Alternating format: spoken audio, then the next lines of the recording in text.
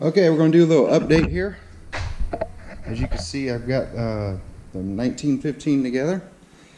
I bought some new tins. Um, I think this is the first time in my life I've bought new aftermarket tins. And uh, I highly recommend you don't. Get the original ones if you can. These need a lot of trimming and a lot of work uh, to make it uh, fit properly. Some gaps and whatever. Anyway, you know how it is. Um, these are fine. I, I, haven't really found any trouble with the uh, fan shrouds. And this is what I really needed because I didn't have one with the doghouse. So I bought that and I figured, uh, for the money, let me just buy these and they'll work. I'll, I'll, I'll eventually get them to work. Uh, but at any rate, yeah, so it's looking good. I've got uh, the trans out.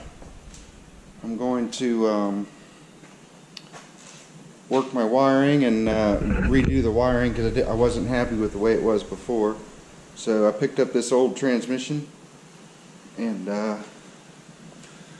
you better look at it. It does have a uh, 388 gear in it. So just uh, a friend of mine had it. It's been around our circle for a while and uh, it came up for sale and um, I decided it would fit nice in the 63.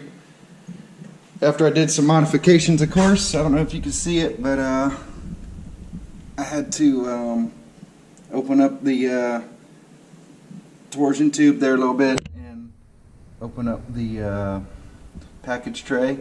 But I'll fill all that, that in. I'll make a box and I'll get some metal and just weld over that. So it's getting there. Um, I'm gonna try to bring you along as I can. I'm trying to get as much done as I can. It's my off day. So at any rate, I got a nice cool shifter that went with this uh, trans. Guy included. It was pretty nice.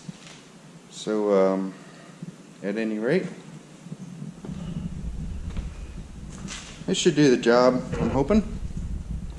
Got to get my brakes on.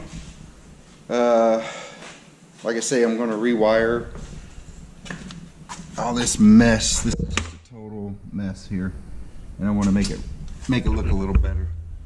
But at any rate, I'll check back with in with you in a little bit let you know how uh, how much I've gotten done. It's hard to see, it's in. Got everything hooked up. Good. I know it's sorry it's dark. Uh, see that now it's dark.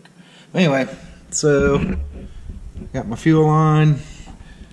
Got my uh, throttle cable tube thing here. I got the clutch tube all in.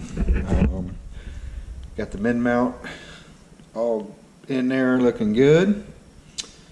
I got the Kafer bar all hooked up.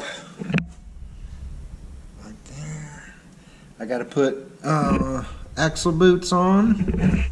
And I need to get my uh, brakes back on. So I still got a little bit of work to do.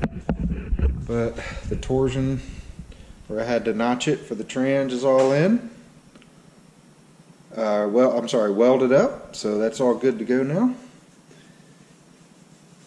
Next will be the motor, and I already talked about that. So this is just a short update. I don't have much to say.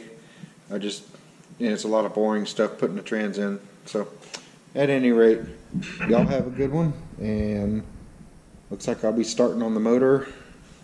Actually, I'm gonna, I'm, I'm gonna finish up the brakes.